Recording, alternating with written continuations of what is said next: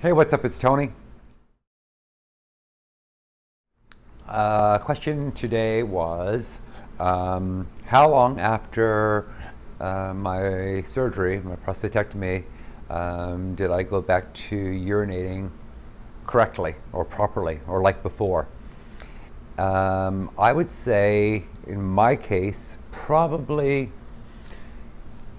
to really get back to doing going to the bathroom to really holding it without having to worry about leaking or a pad or any of that other stuff and sleeping through the night.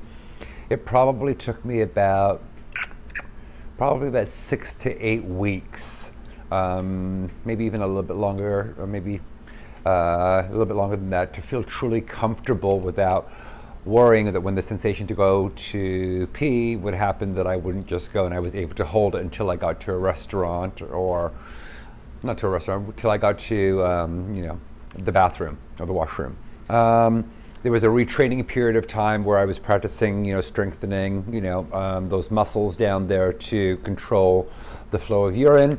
And uh, that took some time because before I couldn't, and basically, you know, when the thought came to mind of going to the bathroom, I would literally just have to go in that moment. And so that took some getting around. And I have to tell you also, too, it did hurt. Um, for um, a little while, probably about five to seven days um, after the surgery, maybe a little bit longer, right? The sensation to actually urinate on my own without the catheter after having it for so many months was actually a bit painful. Um, I don't know if I've ever said this before, but it was like, you know, imagine, um, you know, uh, your urethra is like a dry riverbed and then all of a sudden it's getting water after it's been like, you know, crackled and dried inside and all of a sudden it's getting water. And so there was a painful period where it kind of stung and it kind of felt like it was burning. And so, you know, I would want to clench up and not urinate, like, you know, and let myself empty my bladder fully.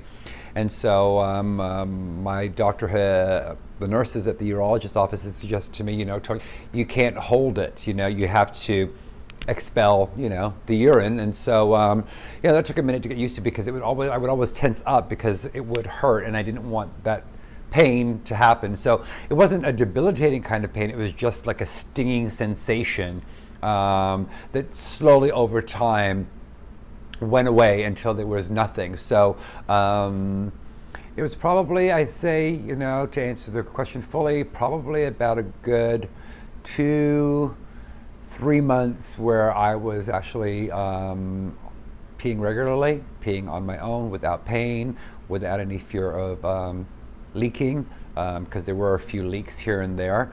Um, I'll save that for another video where it's just like you know, now you know about that. Now I know about that thing that women have after they have a, a pregnancy and they laugh and they dribble or they squirt. So yeah, that kind of happened, but that's another story.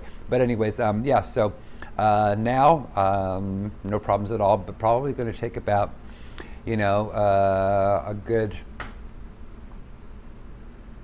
good few weeks, depending on your body and, and, and your personal recovery time and your retraining. All right, so expect that. It's not just going to happen. Uh, it's not going to go back to what it used to be that quickly. All right, so be patient and hang in there.